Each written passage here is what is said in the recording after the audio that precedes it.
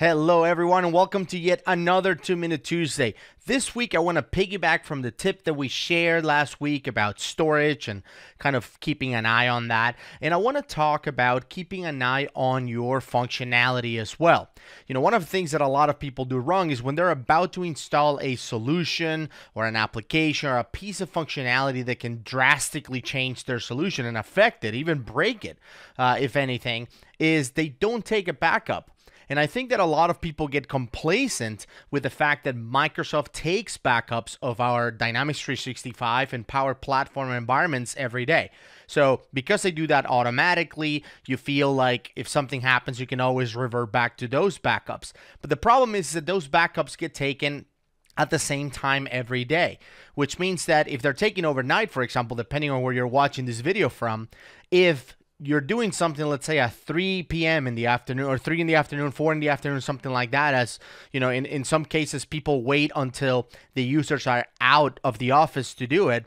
And you implement something or move something into production or a sandbox environment or whatever it is, and then you know something is broken now the last backup that you have is the one from yesterday which means that all of the work all of the records all of the things the changes that happened throughout the day that day will be lost if you restore the backup from the day before. So today's tip is all about how can you create a manual backup. So let's start the countdown and let's go so here I am at the Power Platform Admin Center. And as you can see, um, I have selected, I've clicked on environments and I have a list of the environments that are available to me. So all I have to do is select the environment that I want to back up. So if I'm going to move something into, let's say, this training environment, I select that environment and then there you have it, backups. So I can create or restore from a previous backup if I need to. Now notice that this training environment is a sandbox environment, but the Elevate Solutions environment here is a production environment.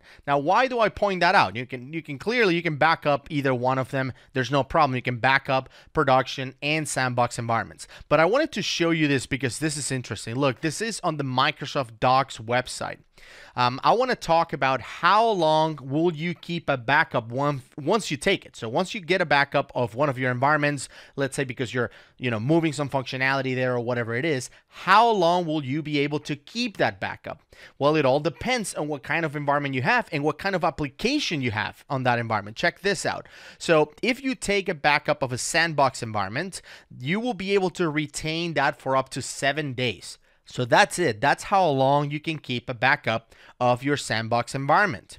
If you take a backup manually of a production environment, if you're using Dynamics 365, the system will keep that backup for 28 days. I don't know why they didn't just make it 30 days, but I guess it's four weeks. All right. So one week if you're using a sandbox, four weeks if you're using if you take the backup of a production environment.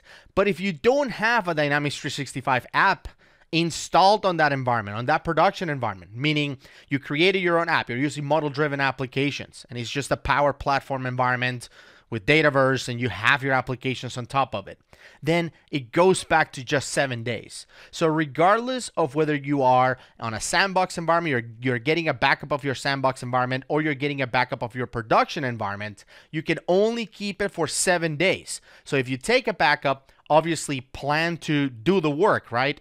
Implement the solution, migrate, do whatever it is that you took the backup for, right? That is kind of your safety. So get it done. Don't just take a backup, wait like a week to do something because then your backup will be gone. Plus, it will be outdated, right? You want to take a backup because you're getting ready to do something and you don't want to miss out on all of the work that took place right before you, you know, made your move. So Please hit the subscribe button if you're enjoying these tips. It really helps me out. We just crossed over the 1500 subscribers. I hope you enjoyed the tip this week, and we'll see you next week.